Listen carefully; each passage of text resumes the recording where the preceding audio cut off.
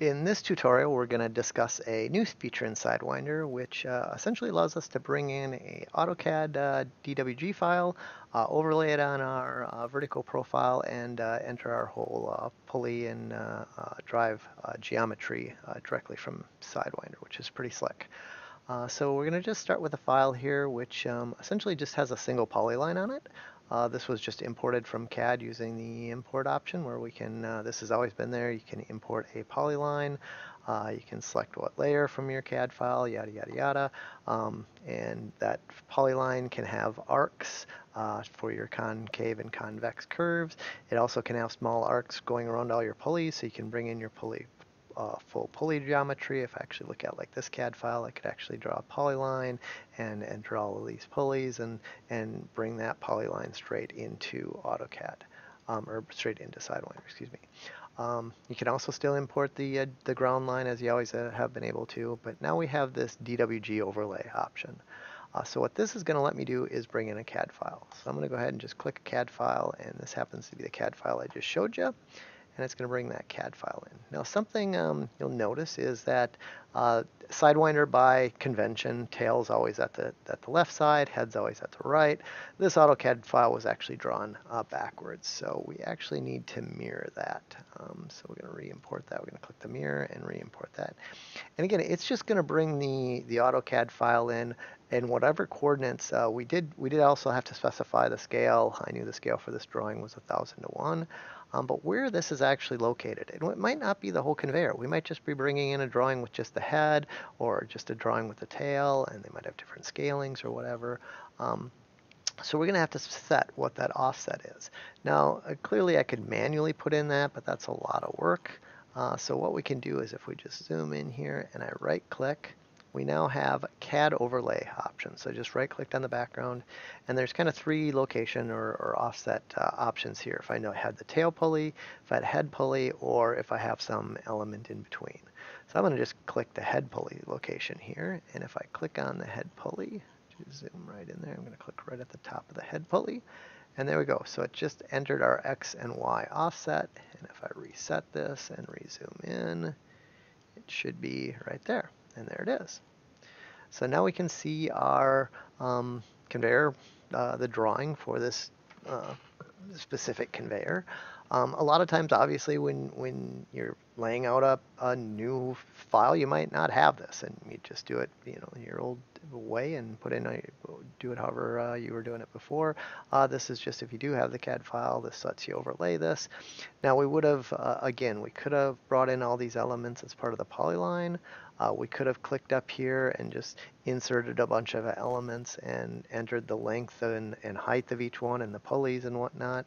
Um, but what we've got is a right click option that click to add elements below the selected row. So we're going to click this to add elements below whatever row we currently have selected. So we're going to select this pulley because this is our last one. We want to keep adding stuff after it. And when we click this, we can now basically just go in here and just add elements around our conveyor, which is pretty cool.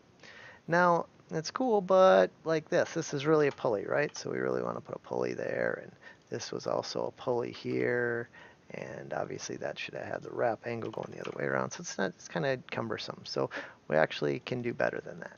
So it's, I'm just going to delete everything again. I just deleted all of those, and looking at this file, I can see I've got four different pulley types. I already know that because I've been in this file, but I'm going to actually set this to pulley 4 just because I'm going to go into the, uh, the pulley and shaft information and I'm going to put my diameters for my pulley. So as I'm drawing it, I actually have the right pulley diameters.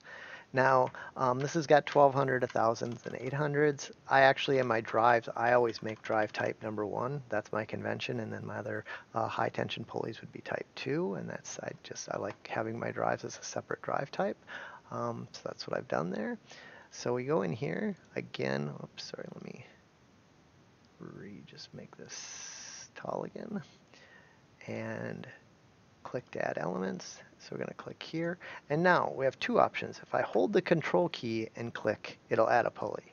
Or we can actually use any of the number keys. So if I use 1, it'll enter pulley type 1. If I go to 2, it'll do 2. 3 will be 3. So I know this is going to be a, a pulley type 2 in my case. I'm going to hold down the number 2 key, which you can't see, but I'm holding down the number 2, and I click, and it just added a type 2 pulley there. And it doesn't know the wrap angle because we haven't entered the second element length here. So when I just, I've let up on the 2 now, and I've just click, and there we go. It's added another element and calculated that wrap angle. So we're going to do another pulley. I'm just going to hold down the, the number 2 key and click. Let it up, click. Oh, these are type 1, so that's a 1. Click, hold on 1, click. I think this is a 4. Click there. 4, click. I think this was a 3. I'll go over to our take up pulley. So you get the idea. This is pretty darn slick here what we can do. And it looks like we got the uh, turnover, and now I'm just using my mouse scroll, um, my middle scroll button to to scroll around. And there we go. Now we look at that and go, well, that's not quite perfect, right? Well, we can connect, correct that really easily. And let's just start at the head just to show you what's going on here. If I right click and I say move point, I now have the option of either clicking the incoming or exiting part of the, the, the, pulley. If I click the incoming flight, it moves everything behind it, moves the whole thing. If I click the exiting point, it moves just that pulley. So depending on what how you want to move the pulley or move everything, you can select whether you want to collect, click the incoming side or the exiting side. So with that, we can go ahead and, and uh, clean all of this up.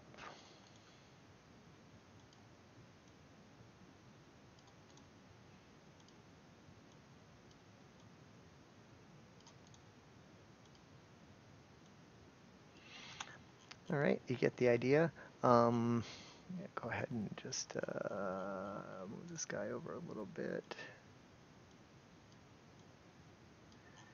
That guy, and we'll move that one too. And sure, we'll move this guy too. And there we go.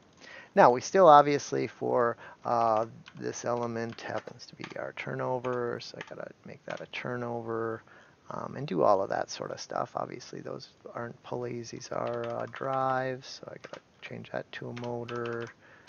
That's a motor. That's our take-up pulley. Boom, done. So that's pretty darn slick. Um, now from here, you'd uh, normally, historically, we would then, I like to add a little element, and then we'd add a return element that mirrors the whole carry side, because we've got all these convex and concave curves and all of that stuff. We don't want to create all those elements. Um, here again, we've added a nice feature that uh, I'm going to just uh, reset and zoom in on our tail here. And I'm going to make a return element because I can see I've got a turnover here so I'm going to have to draw all of this stuff. I'm going to just go back to about somewhere around here. So now if I right click and again I go to my CAD overlay there's a return element. What this is going to do is add a return element after this, it's going to insert this right after this flight wherever I click on. So I'm going to just click like um, right there. Boom. And you can see it just added the return element for us and uh, we're right back to this point. We can now just continue on with another element. I don't know what this is, probably a type 4. Do our turnover. Go off there, that's okay. And not sure what that is. All right, and let's just clean this up a little bit. We'll move these kind of where they're supposed to be here.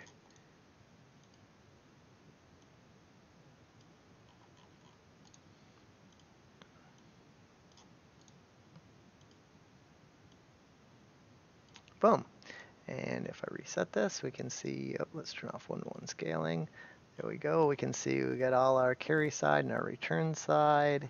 And if we zoom in here, uh, this last element here, a lot of times I would just go in right here and click the adjust to end. And what that'll do is basically, um, sometimes you have to click it a couple times because we got the wrap angle, but it basically calculates what this flight needs to be, the length and height, to make that match back perfectly at 0, 0. And again, this is obviously our turnover again. And there we have it. Boom. Just like that, we've entered in this um, you know, relatively uh, complex conveyor pretty simply. And again, we can go ahead and, and move stuff around if, if we need to. Um, uh, the options here, we can save this file, and this is quite nice. This spe specific file, uh, when we brought it in, again, we don't bring any of the text or anything on purpose, just the uh, the elements. Uh, they're set to 50 millimeters, and right now there's essentially 7,000 lines and we brought in all the layers. Uh, we do only bring the layers in by design, uh, whatever's visible. So if I like, you know, if I go to this layer and I hide this layer or, you know, whatever layers I, I can, you know, hide or, or unhide, only the visible layers are input right now. Maybe we'll show the layers as an input box down the road or, or do some fancy importing uh, options. But right now it brings everything in except for like dimensions and text and stuff like that because normally that just clutters things up. Um, and it also has this minimum length. And what this basically does, if I just zoom in, for example, on a, on a head pulley here, this is obviously a circle. It was probably drawn as a circle and, and we bring in circles, ellipses, arcs, uh, lines, polylines, all of that kind of stuff's all brought in, but then we break it up into individual lines. And um, basically this is our, our minimum length. And if there's a bunch of, you know, if there was a bunch of tiny bolts and whatnot here, it, it essentially ignores them.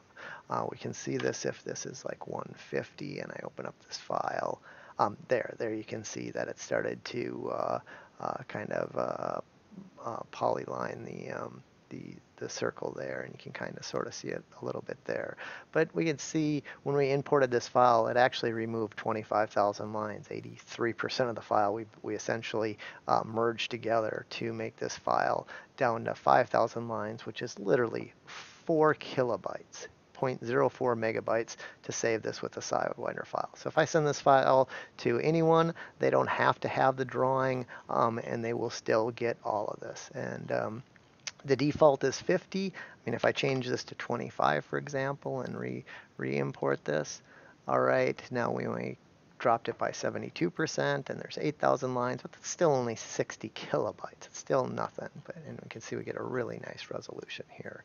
And again, maybe we'd want to, you know, move that pulley just perfect or whatever. You can go ahead and, and tweak things. So anyhow, I think this is a really nice new feature that uh, that people are going to like. Um, uh, very well maybe by version 905 or whatever. We're, we're really liking this and using this quite a bit in Trailus already, so there might be a, a whole bunch more options, but I wanted to get this video out to you guys to, to show you what it's all about. And um, yeah, and go from there. So if you have any questions, let us know, and I think that'll wrap it up. Uh, layer color is clearly just uh, what color you want to color your, your layer. Uh, again, I might even add an option to, to keep the original um, AutoCAD colors. I, I, know what all the colors are, so I could recolor, draw the colors, but I actually think it looks, again, just cleaner for what information we really want by just bringing in everything as a, as a nice um, solid color, because you really just want to make sure that you got your profile the way it's, it's supposed to look. And if we don't want to show it, we can just hide it there, but as long as we've got this save uh, checked, it will uh, save with our file. So thanks, have a great day.